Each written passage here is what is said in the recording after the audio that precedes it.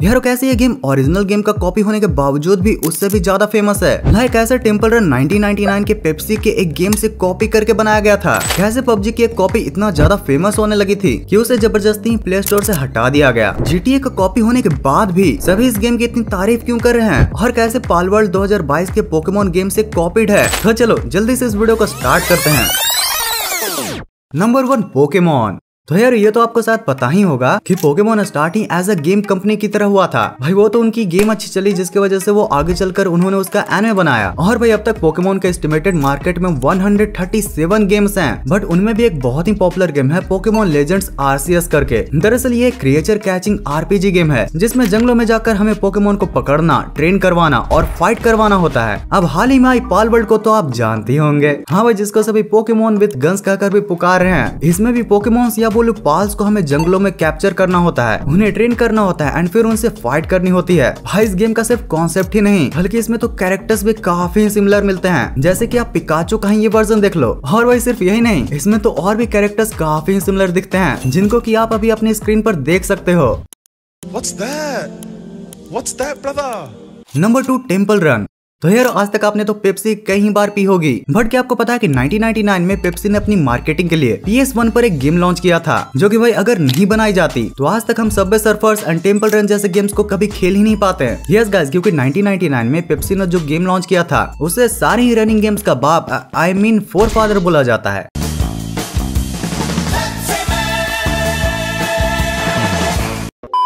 Hero Pepsi man अपने जमाने का एक लौता ऐसा गेम था, जिसमें एक सुपर हीरो पेप्सी मैन लगातार दौड़कर जंप डैश ये सब करते हुए कई पेप्सी कैंस कलेक्ट करता है। इस गेम में टोटल तीन पार्ट्स के साथ पाँच लेवल थे। वैसे जब 2011-12 के आसपास मार्केट में temple run and subway surfers को लॉन्च किया गया था, तब उसके पॉपुलर होने के बाद बहुत सारे इंडलेस रनिंग गेम बने। और भाई कुछ तो इतने कॉपीड गेम्स बने लिटरली उनकी गेम प्ले एंड ग्राफिक्स को देखकर आपकी हँसी ही निकल जाएगी। जैसे की प्ले स्टोर पर एक गेम है इंडलेस रन करके, जो की भाई टेंपल रन का ही पूरा का पूरा कॉपीड है। भाई इस गेम के ग्राफिक्स कैरेक्टर्स एबिलिटीज लगभग ही सेम टू सेम है और तो और यहाँ तो इन्होंने फॉन्ट को भी नहीं छोड़ा उसे भी कॉपी कर डाला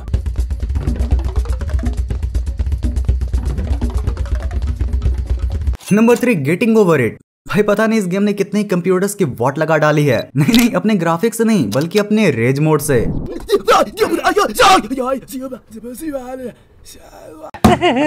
यार लिटरली ये सबसे इरिटेटिंग गेम्स में से एक है। और इसीलिए कई लोगों को लगता है कि ये एकदम ओरिजिनल गेम है, जिसका आइडिया को इसके क्रिएटर ने ढूंढा होगा। पर भाई, ऐसा नहीं है। एक्चुअली में गेटिंग ओवर इट एक गेम से इंस्पायर्ड है। या फिर आप कह सकते हो कि काफ़ी हद तक सेम है। बस जिस गेम को इन्होंने छापा है, वह गेम ज़्यादा पॉपुलर नहीं हुआ था। और उसका नाम लेना भी थोड़ा रिस्की है, क्योंकि उसका नाम है सेक्सी हाइकिंग हाँ भाई, जैसा अजीब नाम है, वैसा ही 2003 में अजीब सा ये गेम भी था। और इसमें भी एक व्यक्ति हैमर की मदद से ऊपर तक पहुँचने की कोशिश करता है। और जिसकी वजह से बार बार गिरता भी है, लेकिन फिर भी भाई कंसेप्ट इतना अच्छा होने के बाद भी ये बहुत ही ज़्यादा ग्लिची था और इसमें कैरेक्टर को कंट्रोल करना तो और भी हार्ड था। देखो ये गेम उतनी भी टफ नहीं थी जितनी गेटिंग ओवर है बट फिर भी भाई इसके बग्स एंड ने इसको पॉपुलर बनने ही नहीं दिया।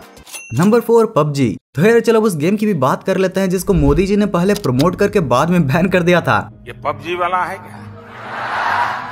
तो यार इसके पॉपुलर होने के बाद इसके बहुत सारे क्लोन्स एंड कॉपी मार्केट में आए। और इन्हीं में से एक था सर्वाइवल फायर बैटल ग्राउंड भाई इसमें पबजी के मैप्स गन्स कैरेक्टर से लेकर उनके फ़ोन तक को भी कॉपी कर डाला गया है। और इसका भी प्ले स्टोर पर 4.1 की रेटिंग के साथ 10 मिलियन से भी ज़्यादा डाउनलोड्स है। और भाई प्ले स्टोर पर रियल पबजी होने के बाद इन सब फ़ोटो गेम्स को कौन खेलता है? भाई देख इसको वही प्लेयर्स डाउनलोड करके खेलते हैं जिनके स्मार्टफ़ोन में रियल पबजी या बीजीएमआई जैसे गेम अच्छे से नहीं चलते। वैसे पिछले साल में पबजी या बोलू पैबजी नाम का भी एक पबजी का सस्ता कॉपी को प्ले स्टोर पर डाला गया था, जिसको की भाई सिर्फ़ एक ही इंडियन डेवलपर ने बनाया था। और उसमें भी सारी ही चीज़ें कॉपीड थी। बट उसका नाम कॉपी होने के बाद भी बहुत ही ज़्यादा यूनिक था। और इसी वजह से ये गेम काफ़ी पॉपुलर भी हो गया था।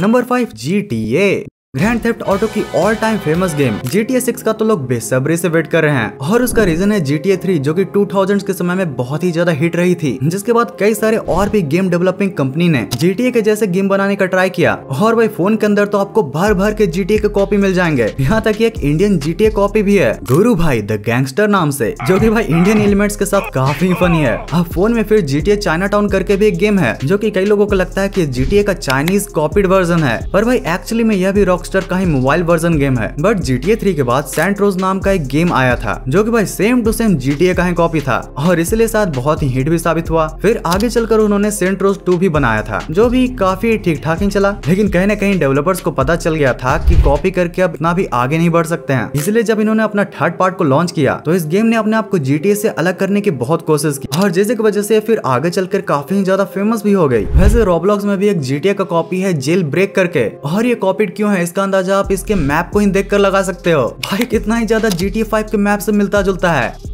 नंबर सिक्स रोबलॉक्स विदेशों में माइनक्राफ्ट एंड रोबलॉक्स दो ऐसे भाई हैं, जिन पर ही पूरी ही गेमिंग इंडस्ट्री डिपेंड करती है। अब इंडिया में रोबलॉक्स तो माइनक्राफ्ट के जितना पॉपुलर नहीं है बट बाहर के कंट्रीज़ में माइनक्राफ्ट जितना ही पॉपुलर है। एक्चुअली रोबलॉक्स एक गेम नहीं है, बल्कि ये गेमिंग प्लेटफॉर्म है। मतलब की इस प्लेटफॉर्म पर जाकर आप अलग अलग गेम्स को ट्राई कर सकते हो, जिनको की अलग अलग प्लेयर्स ने बनाया है। दो हज़ार छह में लॉन्च होने के बाद अपनी सिंप्लिसिटी एंड यूनिक कॉन्सेप्ट की वजह से ये काफ़ी ज़्यादा पॉपुलर हो गया है। और बिल्कुल वैसे ही जब ये बहुत ही ज़्यादा पॉपुलर हो गया तो फिर मार्केट में भी इसके कई सारे कॉपीज आए, जैसे की ब्रिक प्लेनेट और भाई, अपने नाम की तरह ही बिल्कुल ही रोब्लॉक जैसी लगती है। और जब आप इसके इंटरफेस को भी देखोगे तो ये काफ़ी यहाँ तक रोब्लॉक जैसा ही दिखता है। और भाई अपडेट आने के पहले तो और भी ज़्यादा ही लगता था। इसके डिफ़ॉल्ट कैरेक्टर को भी अगर आप रोब्लॉक्स के डिफ़ॉल्ट कैरेक्टर से मिलाओगे तो ये काफ़ी ही ज़्यादा सिमिलर दिखते हैं।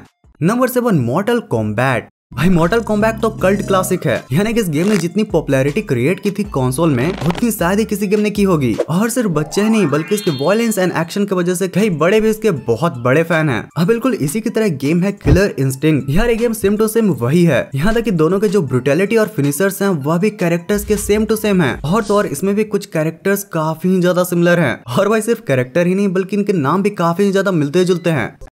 तो यार अब इतने इन्फॉर्मेशन के बाद कुछ मज़ेदार मीम्स तो बनते हैं ना। GTA 6 trailer drop coming in 2025 and भाई ये भी तो ऐड कर दो ओनली फॉर कंसोल्स पीसी में आने के लिए और भी दो साल लगेंगे। फ्रेंड भाई तू मल्टीप्लेयर गेम क्यों नहीं खेलता है? Me thinking about my luck in multiplayer game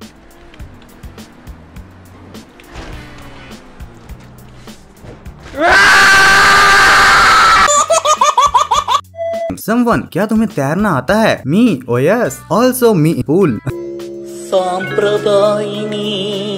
सुपिनी शुद्ध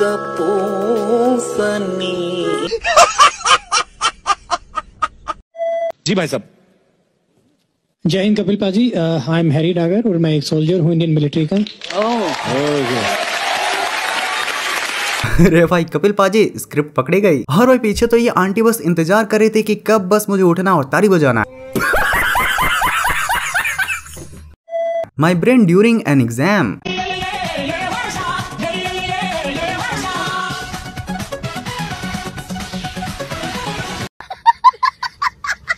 अगर आप होते तो क्या करते? हैं क्या हो भाई? द इस बच्चे ने देखिए क्या बनाया क्या है ये बेटा? लकड़ी काटने का मशीन। जरा वो पेड़ काट के दिखाओ। कॉल सेंटर कैट दिन में सूरज, रात में तारे होते हैं और वर्ड द फैक्ट की वीडियो को लाइक करने वाले बड़े प्यारे होते हैं। तो यार, समझ गए ना? तो यारो, बस आज के इस वीडियो के लिए इतना ही था। अगर आपको इस वीडियो का पिछला पार्ट को देखना है तो आपके लिए है ये वाली वीडियो और अगर इसे आपने देख लिया है तो भाई फिर आपके लिए है ये वाली फन टेस्टिंग वीडियो इस वीडियो को पूरा यहाँ तक एंड तक देखने के लिए दिल से thanks for watching this entire video